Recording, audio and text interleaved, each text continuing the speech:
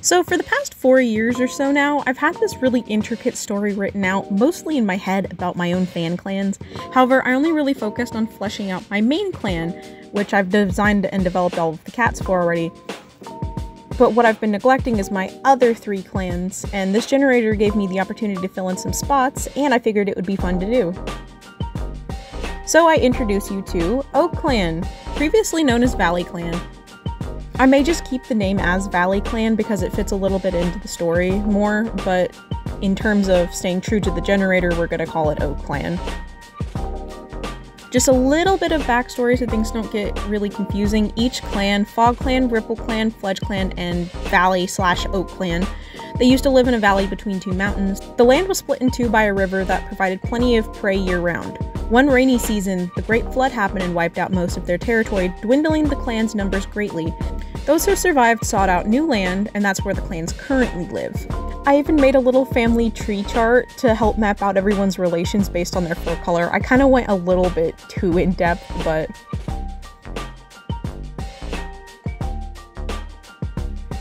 Starting off with our leader, Yellowstar. Formerly Yellowgaze, Yellowstar is a fearless and tactical leader with the battle scars to prove it. Yellowstar is a long-haired black and red mackerel tortoiseshell she-cat with yellow eyes.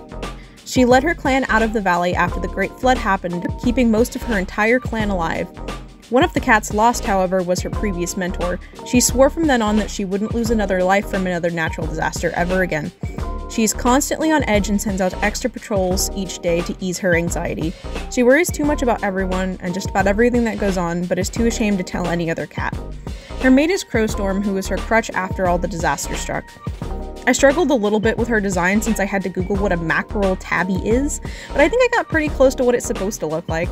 Regardless, her pattern is probably one of my favorites out of all of the ones I've designed. The side of her face that isn't shown is all black as well.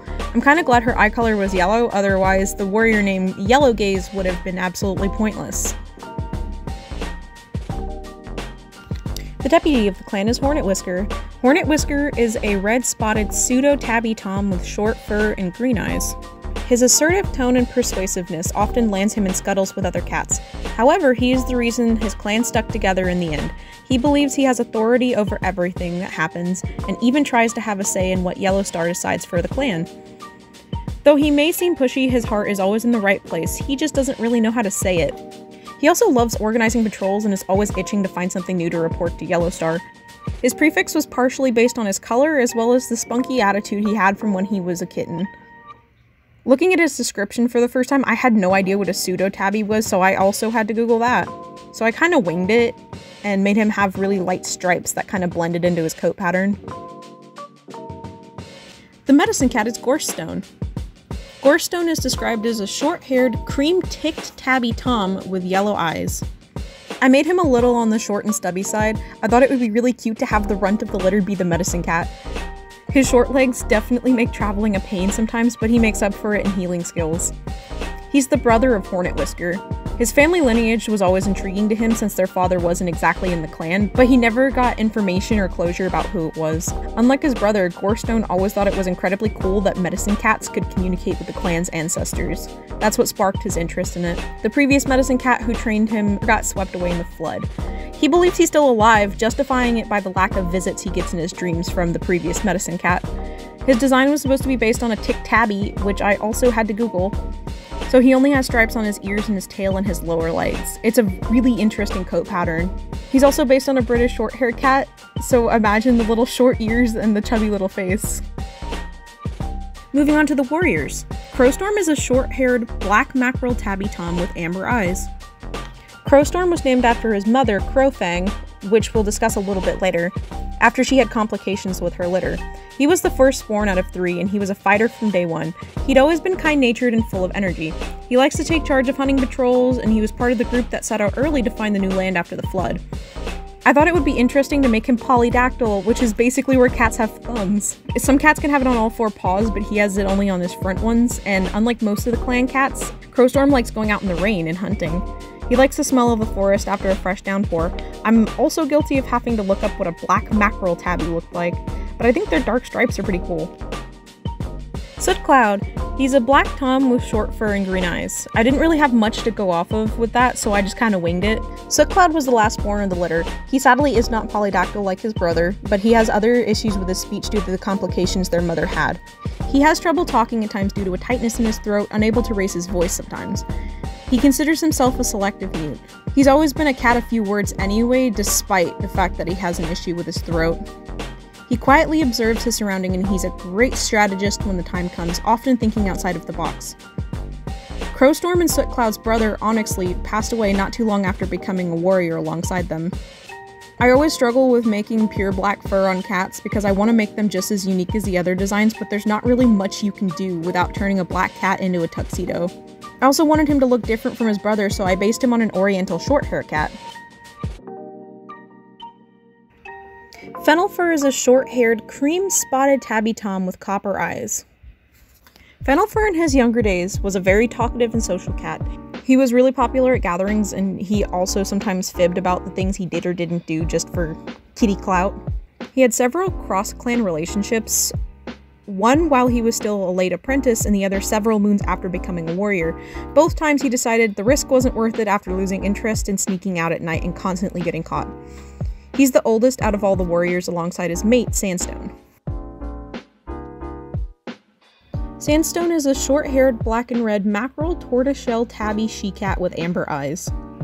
Sandstone is Yellowstar's sister. She decided to become a permanent queen after having her first litter with Fennelfur. She felt she did a much better job at taking care of kits than anything else, especially after everyone began praising her on how the whole nursery was just about in love with her. She was super good with the kits. She also has vision that keeps getting worse as time goes on, and she felt she'd also be better taking care of the camp when there aren't kits than going out and like accidentally hurting herself or something because of her vision. She likes changing the bedding, building on shelters, making them waterproof, removing pointy stones, all that good stuff. She's a mother figure to just about everybody in camp, and a lot of other cats go to her to talk about their problems. Moving on to the apprentices. First is Stormfoot, Spiderpaw, and Beepaw. They're the kits of Yellowstar and Crowstorm. Stormfoot is a short-haired blue she-cat with copper eyes. Previously Stormpaw, Stormfoot was advanced to a warrior after risking her life against a bear who was cornering a queen and her kits, even after she knew that they were long gone. She eventually led the bear away from the camp after many failed attempts by other senior warriors. Her bravery and quick thinking earned her her warrior name early. Her suffix foot was in respects to her standing her ground and not budging against the really big angry bear. Due to the severity of her injuries, she permanently lives in the Elder's Den and takes care of them. Her previous mentor was Onyxleap, who sadly passed in the bear attack. Spiderpaw is a black tom with short fur and copper eyes, and Beepaw is a short-haired red mackerel pseudo-tabby tom with hazel eyes. Spiderpaw of the entire clan has to be my absolute favorite. He's named after his extra toe beans that his father Crowstorm passed on to him. He's polydactyl on all four feet, and he's super clumsy. So when he first started training, he would trip over his big old bappers a lot, and he was also super dirty all the time from falling. He's also super carefree and ditzy. Spiderpaw's mentor is Soot Cloud. Beepaw excels over his brother in just about every aspect, other than making friends. His large size compared to the other apprentices makes him a rather intimidating opponent. His exclusion from training sometimes gets to him and he feels like he has to hold himself back just to be seen as friendly. But on the other side, he's also pretty hot-headed and he likes to go off on his mentor, Hornet Whisker, who is equally as snippy and rude. At gatherings, he's often mistaken as being related to Hornet Whisker despite there being no relation in their lineage, mainly because the two of them share similar coat patterns and prefixes are both angry bugs. A few moons older than Spiderpaw, Beepaw, and Stormfoot is Chanterelpaw and Fennelpaw. I got super excited when the generator gave me both of their names since fennel is my favorite herb and chanterelles are my favorite mushrooms to forage. Fennelpaw is a sparse-haired black and red mackerel tortoiseshell she-cat with yellow eyes. Fennelpaw is training to be a medicine cat apprentice. She never liked the idea of taking on a mate and having a family, battling other cats, or patrolling all day. She took interest in herbs when she was a really young kit, drawn to some of the sweeter smelling herbs such as mint and lavender. After realizing that she was too afraid to be a warrior, Gorestone took her under his wing. Stormfoot's injuries were great practice for her. She would see to her bandages several times a day and got very good at wrapping limbs. In the process, the two of them became inseparable. Sometimes when she's feeling up to it, Stormfoot even helps Fennelpaw go out to collect herbs. Her mother Sandstone ended up passing her really bad vision onto her, so sometimes she can't see super great.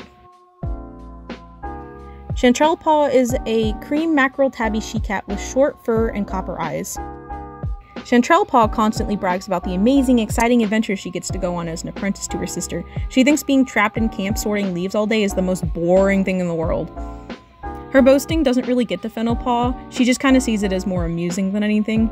At gatherings, she's a social butterfly and wants to know what clan life is outside of her own. Chanterelle Paw's mentor is Crowstorm.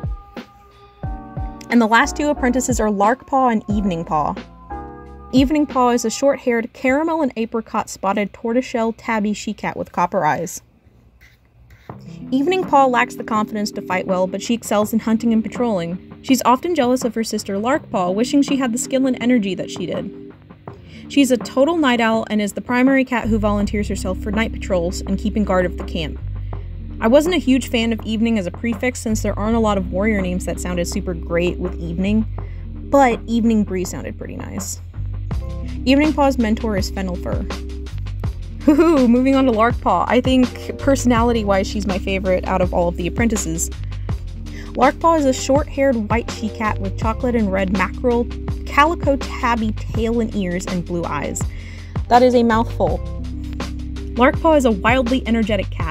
Sleep means absolutely nothing to her, and rules won't keep her from exploring outside of camp when she's definitely not supposed to. Her mind goes just about a tree length a minute.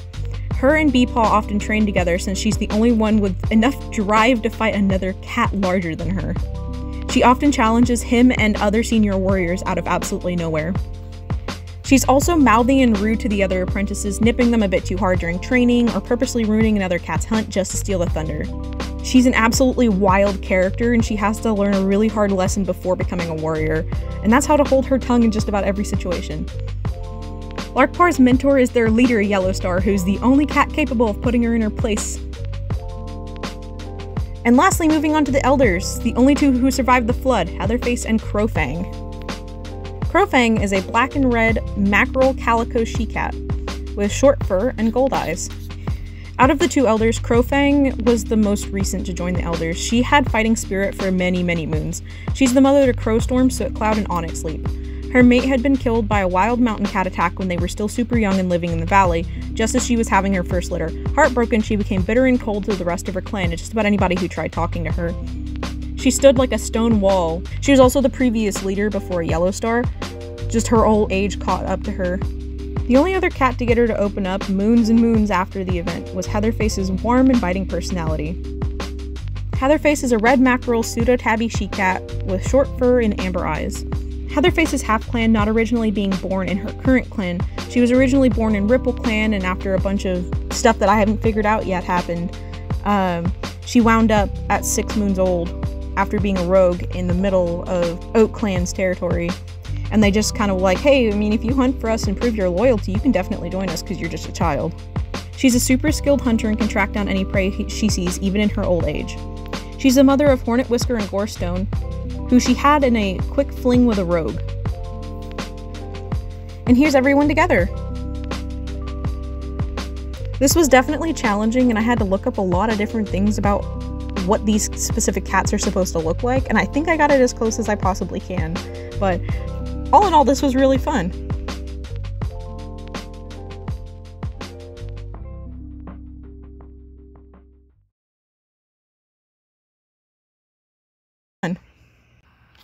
My cats probably think I'm insane. She's often jealous of her sister War. Mm, she's often sis. Due to the severity of her injury, she's per- Due to the severity of her injury, she's permanent.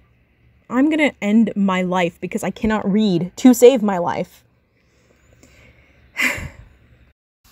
so for the Spiderpaw's mentor is Hor- Wow, I cannot speak. Spiderpaw's mentor is Hornet Whisker.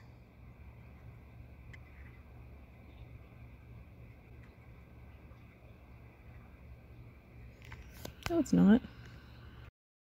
He's also pretty hot-headed, and he likes to go off on his mentor I'm ah!